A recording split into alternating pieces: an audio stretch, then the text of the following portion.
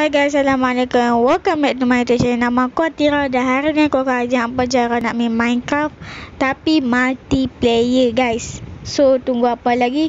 Jom. Ini merupakan version 1.17.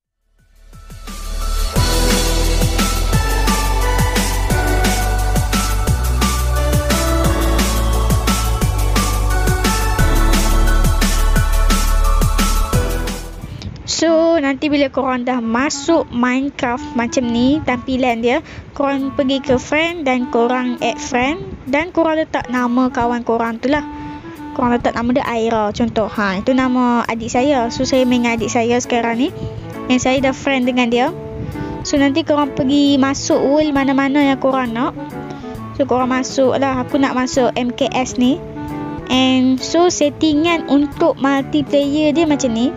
Okay Okey, sekejap. Sam okey, ni bukan dia ni yang game.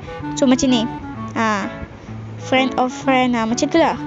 Okey, nanti korang kena buat account Microsoft dulu untuk main sama-sama dengan kawan, okey? So korang masuk je. Tunggu kejap.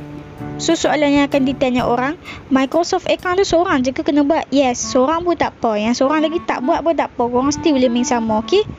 So macam ni lah tampilan dia. Ha, tengok tu tu adik saya duk main. Uh, dia tunggu saya tadi. So ya yeah, macam ni je lah. Uh, Memang easy. Gamer tag pun sama.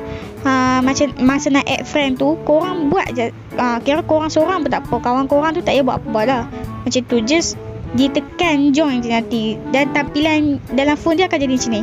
Nanti suruh kawan-kawan tekan sahaja. And then auto boleh main sekali weh. Uh, Macam tu lah. So satu pihak saja yang kena buat Account kena bubuh nama macam tu. Yang lagi seorang tu hanya tekan join je. Okay? And sebelum kita tamatkan video ni, bila korang kat profile ni, korang tekan on with wifi ataupun on with wifi or mobile data. Jangan off. Okay? Sampai situ saja. Bye-bye.